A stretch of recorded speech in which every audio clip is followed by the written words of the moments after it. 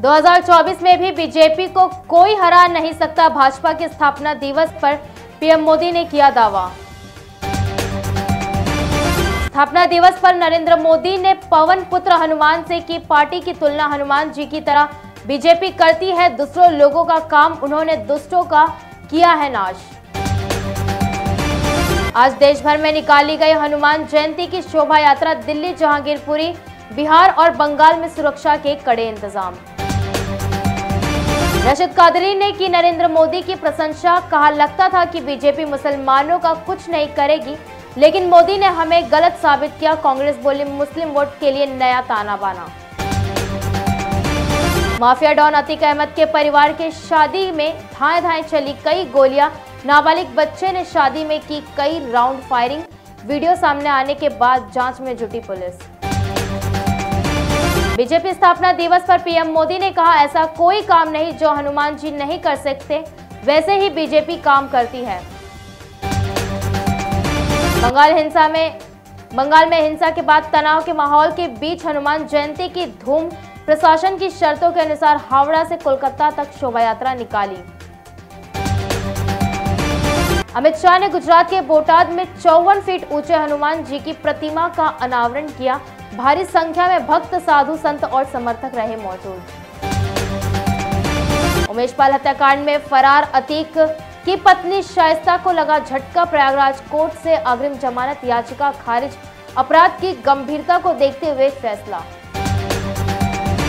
हनुमान जयंती पर दिल्ली के मंत्री सौरभ भारद्वाज ने दिल्ली में निकाली शोभा यात्रा बोले, सभी को शांतिपूर्ण तरीके से यात्रा निकालने का हक है। बेटे ने थामा बीजेपी का दामन तो दिग्गज कांग्रेसी नेता ए के एंटनी बोले, मैं आहत हूँ कि अनिल का यह फैसला गलत है। कांग्रेस को लगा बड़ा झटका। बीजेपी में शामिल हुए कांग्रेस के दिग्गज नेता एंटनी के बेटे अनिल एंटनी। पटना के शास्त्री नगर इलाके में आग की विनाश लीला, गैस सिलेंडर धमाके के बाद जल गए कई मकान, लाखों का नुकसान। दिल्ली के पूर्व मंत्री और आम आदमी पार्टी के नेता सत्येंद्र जैन को हाईकोर्ट से लगा झटका, मनी लॉन्ड्रिंग मामले में तिहाड़ जेल में बंद सत्येंद्र जैन को नहीं मिली जमानत। तमिलनाडु में बिहारी मजदूरों पर हमले का फर्जी वीडियो वायरल करने के मामले में गिरफ़्तार यूट्यूबर मनीष कश्यप पर लगा एनएसए, तमिलनाडु के कस्टडी में है मनीष। एक इंच पीछे नहीं हटेंगे प्रियंका गांधी और राहुल गांधी से मिलने के बाद बोले नवजोत सिंह सिद्धू। नवनीत राणा ने उद्धव ठाकरे पर अमरावती में किया तीखा तंज, कहा, भगवान राम ने अच्छे अच्छों का घमंड मिट्टी में मिला दिया। पुलिस की गाइडलाइन के बावजूद हुंगली के बांसबोरिया में हनुमान जयंती शोभ यात्रा में लहराई तलवारें। बजा डीजे, पुलिस ने अभी तक कोई मामला दर्ज नहीं किया। बरेली में आशिक ने पहले निकाह किया और फिर जब सिर फिरा तो चेहरे को चाकू से गोद डाला। युवती की हालत नाजुक बनी। पटना के शास्त्री नगर की झुग्गी बस्ती में लगी भीषण आग, सैकड़ों झोपड़ियाँ आग की जद में हर तरफ़ अफरा तफरी का माहौल।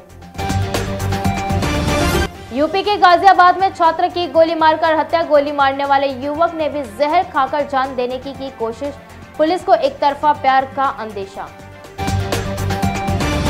नवनीत राणा ने उद्धव ठाकरे को दी चेतावनी, बोला, अब हनुमान चालीसा करने से मुझे कोई नहीं रोक सकता। जहाँ जहाँ उद्धव सभा करेंगे मैं वहाँ हनुमान चालीसा का पाठ करूँगी। अब आपकी ईएमआई नहीं बढ़ेगी आरबीआई ने रिपोर्ट में नहीं किया कोई बदलाव रेपो रेट साढ़े छह फ़ीसदी पर ही बरकरार। देश में तेज़ी से बढ़ रहा कोरोना का खतरा 24 घंटों में 5,335 नए मामले एक्टिव केस 25,000 के पार। दिल्ली में कोरोना में पॉजिटिविटी रेट में बड़ा उछाल एक दिन में 509 नए मामले आए सामने।